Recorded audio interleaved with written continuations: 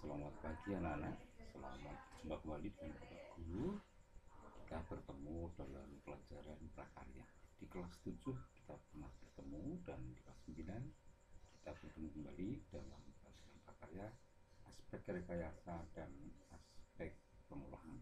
Kali ini pelajaran akan Guru mulai dengan memperkenalkan terkait dengan prinsip listrikan serta wawasan kelistrikan dan sistem instalasi listrik.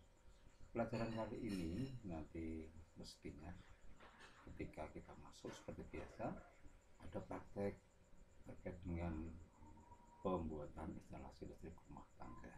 Tapi seperti apa nanti di era pandemi ini kita lihat besok. Ya, anak-anak pada pelajaran kali ini prakarya aspek rekayasa kelas 9 yang pertama adalah yang harus dipersiapkan sebelum masuk ke pelajaran adalah satu siapkan dulu buku catatan dan alat tulis. Kedua buku paket prakarya semester 1 halaman 49 sampai 53 nah untuk tujuan pembelajaran anak-anak yang pertama Pak Guru inginkan kalian dapat memahami dan mengetahui serta dapat mengidentifikasi apa itu muatan listrik. Kemudian yang kedua satuan listrik. Nah dalam satuan listrik nanti juga akan kita sampaikan tentang besaran listrik. Kemudian yang ketiga jenis dan sumber listrik. Jenis-jenis listrik dan sumber listrik. Nah berikutnya kita masuk pada wawasan umum tentang kelistrikan listrik merupakan kebutuhan primer. Kebutuhan mendasar bagi manusia. Tanpa listrik pada era sekarang ini kita dapat mengalami satu kesulitan. Coba yang kedua ini. Pernahkah kalian mengalami mati lampu seharian di rumah kita? Ya tentu ada yang pernah dan mungkin ada yang belum. Ketika kita mengalami hal itu maka semua kegiatan menjadi terkendala ya betul nah tetapi ada juga di Indonesia ini ada suku yang mengharamkan tentang adanya listrik karena dianggap akan mengubah peradaban. Nah, suku apa itu? Yaitu suku Baduy yang berada di Jawa Barat dan suku Anak Dalam yang berada di Kalimantan. Tidak tahu mengapa mereka membatasi diri terkait dengan kemajuan zaman. Berikutnya kita masuk kepada muatan listrik. Nah, inilah muatan listrik sesi yang paling utama di mana listrik itu mengalir. Muatan listrik adalah muatan dasar yang dimiliki suatu benda yang membuat membuatnya mengalami gaya pada benda lain berdekatan dan juga memiliki muatan listrik. Tentu muatan listriknya adalah muatan yang berbeda karena muatan listrik ada dua muatan listrik positif dan muatan listrik negatif. Nah kita lihat sekarang muatan listrik positif. Muatan listrik positif yaitu benda atau atom yang memiliki dorongan atom negatif. Atom negatifnya di sini adalah jumlah elektronnya. Ya. elektron. Nah, ada elektron. Apa itu elektron? Nanti kalian juga mengenal yang namanya proton yang namanya neutron. Itu semua ada di uh, bagian sebuah atom. Yang kedua, muatan negatif yaitu benda atom yang memiliki kelebihan atom negatif. Jumlah elektronnya lebih banyak daripada jumlah protonnya. Lanjut. Gambar atom muatan atau bahkan sebuah atom. Kita lihat sekarang. Di sini ada tiga gambar. Gambar yang pertama atom netral gambar yang kedua atom negatif gambar yang ketiga atom positif. Atom netral itu jika jumlah elektron dan jumlah proton sama banyak. Kita hitung sekarang jumlah atom pos, uh, jumlah protonnya di inti atom. 1, 2, 3, 4, 5 kemudian jumlah elektron yang berada di kulit atom. 1, 2, 3, 4, 5 maka jumlah P sama dengan jumlah E. Ini termasuk atom netral. Kita lihat gambar yang kedua adalah atom negatif di mana jumlah elektron lebih banyak daripada jumlah proton. Kita lihat sekarang jumlah protonnya dulu di inti atom. 1, 2, 3, 4, 5. Jumlah elektronnya 1, 2, 3, 4, 5, 6. 6 elektron berbanding 5 proton. Sehingga lebih banyak elektronnya maka atomnya berjenis negatif. Gambar yang ketiga, atom positif. Kita lihat jumlah protonnya ada 5, jumlah elektronnya ada 4 jumlah proton lebih banyak daripada jumlah elektron. Maka ini disebut dengan atom positif. Yang berada di atom adalah proton. Nah ini simbol gambar proton. Pada positifnya. Dan yang berada di kulit atom adalah simbol dari elektron ini. Lanjut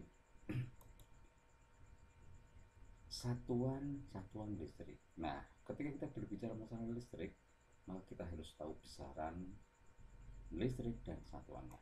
Yang pertama, ada kuat arus listrik. Kuat arus listrik merupakan besaran listrik diberi satuan ampere. Kuat arus listrik di dalam perjalanan teorinya diberi diberi simbol huruf I besar dan diberi satuan ampere. Kemudian ada yang kedua adalah tegangan listrik atau dalam teori diberi simbol huruf V besar dengan satuan volt.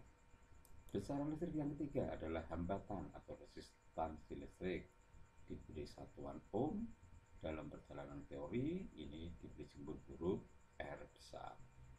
Kemudian ada daya listrik diberi satuan watt dalam perjalanan teori daya listrik diberi simbol huruf P.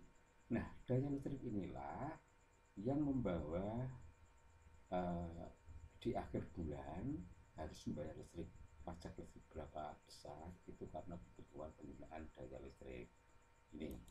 Lanjut yang berikutnya jenis dan sumber listrik. Jenis listrik itu ada yang pertama jenis listrik AC disingkat alternating current yaitu listrik di mana arus yang besar dan arahnya itu selalu berubah-ubah. Jika ini digambarkan dengan uh, grafik maka listrik AC itu akan berbentuk gelombang sinus ya. Ada setengah siklus positif dan ada setengah siklus negatif. Ini untuk listrik AC dan ini bisa dipasang secara bolak-balik. Tidak bergantung pada kutubnya. Ada kutub positif kutub negatif. Tetapi pada listrik AC tidak menjadi pedoman.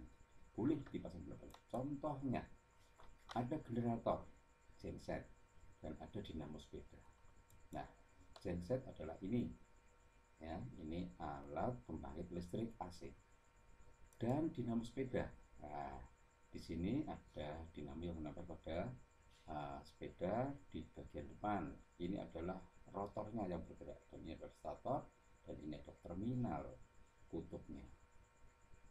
Lanjut jenis listrik yang kedua adalah listrik DC di mana listrik DC ini adalah arus listrik yang mengalir di mana besarnya adalah uh, tidak berubah tetap berada di kuadran satu dan grafiknya selalu positif ini. Nah Listrik DC atau direct current ini contohnya satu ada aku atau aki akumulator yang kedua ada batu baterai elemen kering. Kita lihat sekarang. Inilah aki. Ada tanda terminal merah ini positif terminal hitam negatif. Tidak boleh terbalik masangnya atau menggunakannya yang berikutnya adalah batu baterai. Di atas ini yang mendol ini ini adalah positif dan yang di bawah adalah negatif. Nih lanjut. Jenis dan sumber listrik yang lain. Ini ada gambaran cerobong yang cukup besar. Ini adalah pembangkit listrik. Pembangkit listrik tenaga nuklir. Kalau di Indonesia sekarang ini ada di Python Jawa Timur. Kemudian yang kedua ini ada lampu yang bisa menyala karena energi dari matahari yang diubah oleh solar cell ini yang berikutnya Ya, ini adalah pembangkit listrik tenaga air. Di Jawa Tengah ada waduk Gajah. Di Jawa Timur ada waduk e, Karangates. Dan kemudian di Jawa Barat ada waduk e, Jawa Barat Jatiluhur ya. Ya, ini waduk Jatiluhur. Nah, sekarang yang berikutnya adalah pembangkit listrik tenaga angin di sini cara kerjanya persis seperti ada generator air ini ya maka di sini ada turbin yang digerakkan oleh kincir angin nah ini sifatnya nanti akan menghasilkan listrik yang cukup besar energi yang tidak pernah dipasang di uh, tanah lapang atau di bagian gunung-gunung yang mendapatkan hembusan angin besar bangsa Indonesia sudah memiliki dan sudah disebutkan oleh Bapak Presiden Joko Widodo.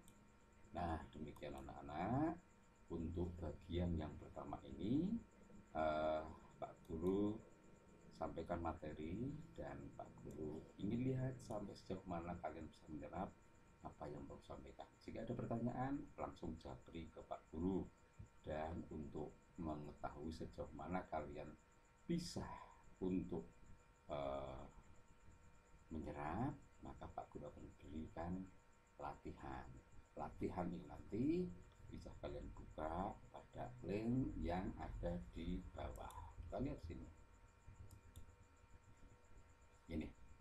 Silahkan kalian buka uh, lewat Google dengan link atau web http titik dua double slash gigi.gigi slash latihan prakarya satu. Soalnya tidak banyak. Cukup lima nomor. Cukup lima nomor satu nomor Pak Guru poin dua. Jika betul semua nilainya 10 silahkan dikerjakan sebelum masuk pada pertemuan kedua. Demikian untuk anak-anak. Nah sebelum Guru akhiri materi minggu depan apa materi minggu depan yaitu adalah belajar terkait bahan-bahan instalasi listrik rumah tangga. Di buku paket prakarya ada di halaman 53 sampai 57. Kalian juga boleh mencari tambahan pengetahuan dari sumber yang lain, baik sumber yang berupa uh, buku, majalah dan sebagainya ataupun uh, browser dari internet. Silahkan kalian coba.